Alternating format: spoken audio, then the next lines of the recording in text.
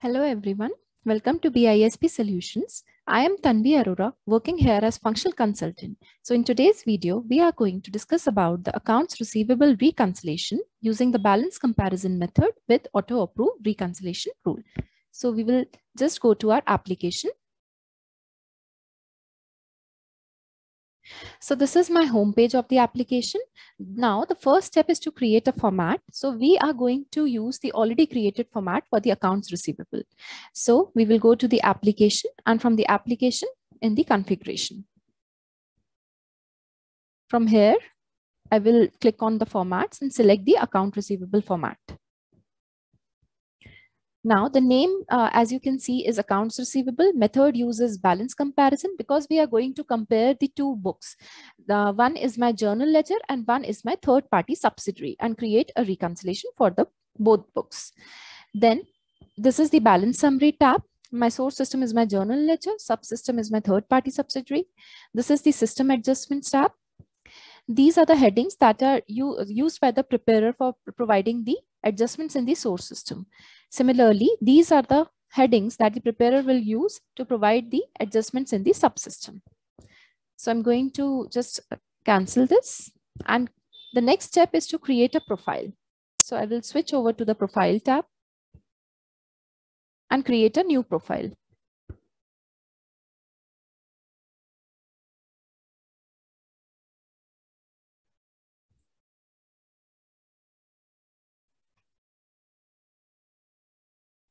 So this is my profile ID.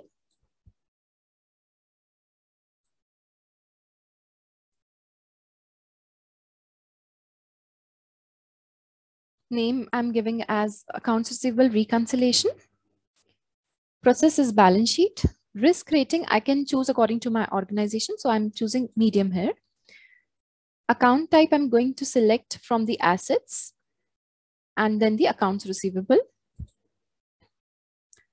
Normal balance is debit. Organizational unit, I'm going to select as North America.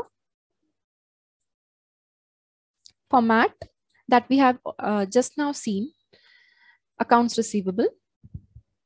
I'm going to attach this format to this profile. Then the method, um, it is automatically showing as balance comparison. Or for auto reconciliation, I'm choosing balance is zero. And for reconciliation adjustments, I'm going to provide for 10 days. Now I'm not going to provide for any instructions for the preparer. I'll directly switch to the workflow tab. Here I'm going to select my preparer.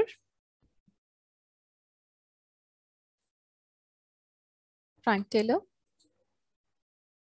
Frequency I'm choosing monthly. It is scheduled from close date. Offset date uh, days I'm providing for one day and duration also uh, two, two days. Now from here I'm going to select my reviewer.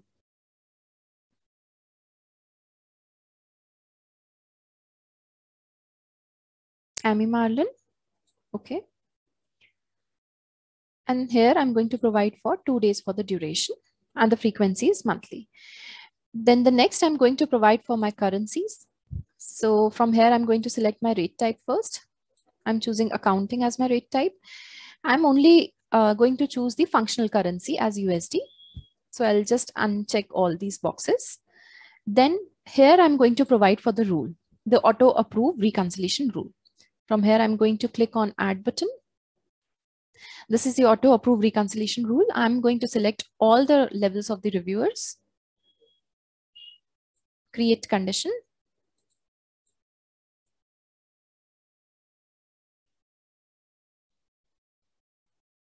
Adjustments to source system functional. If they are equal to 5,000 currency as USD,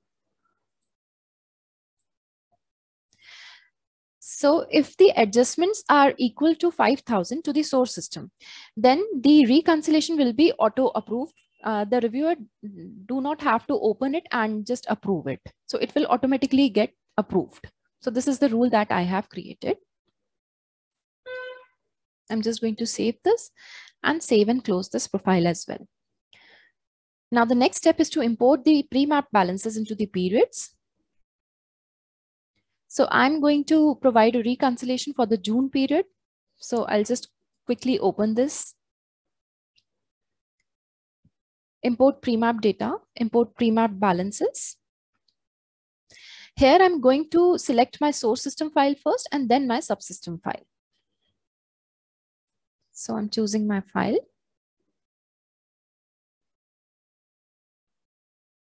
This is my source system file. Balance type is source system. Period is June. Currency is my functional currency. And this is CSV file. So from here, I'm going to import it. I can see the progress from here in the staging tables. Okay. So I'm just going to refresh it. It's still in process. So it has been completed without any errors. Now I'm going to repeat the same process for the source system balances. Sorry, for the subsystem balances.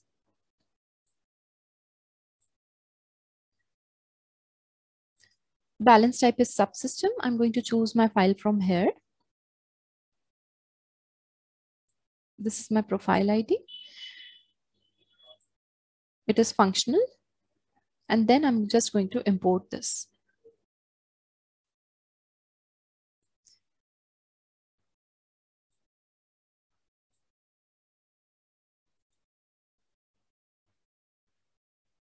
So it has been completed without any errors.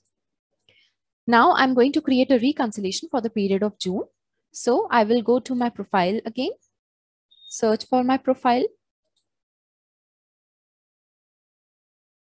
So this profile has been created and I'm going to select this profile and create a reconciliation. From actions, I will go to create reconciliations. Period is June.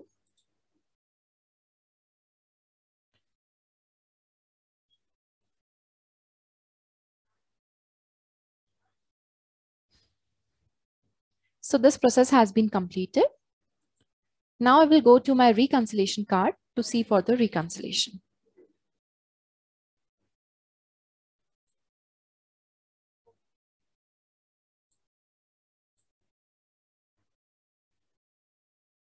So as you can see, the this is my reconciliation. The source system balance that I imported was 50,000 and the subsystem balance was 45,000. And these were the files that I imported. This was the source system file. The balance was 50,000. And this was the subsystem file. The balance was 45,000. So I'm going to log in as Frank Taylor and provide for the balance explanations. So I'm going to sign out from here. So I have logged in as Frank Taylor. I'm going to go to the reconciliations card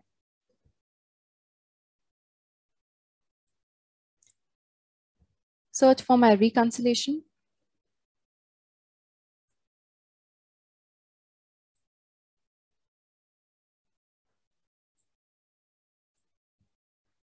So this is my reconciliation.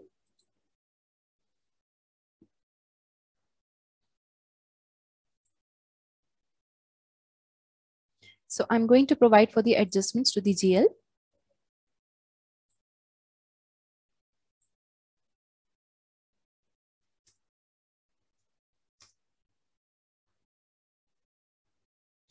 Transaction date, I'm choosing this only.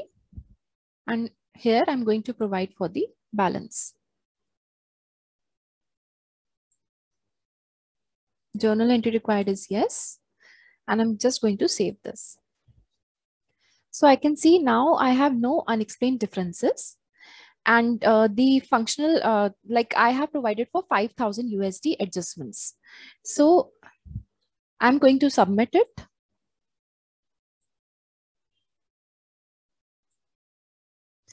And as you can see, the rule has applied. The status has already changed to closed. The reviewer don't have to open it and approve it. The status is already chosen as closed. Okay. So this is how it is done. Thank you so much.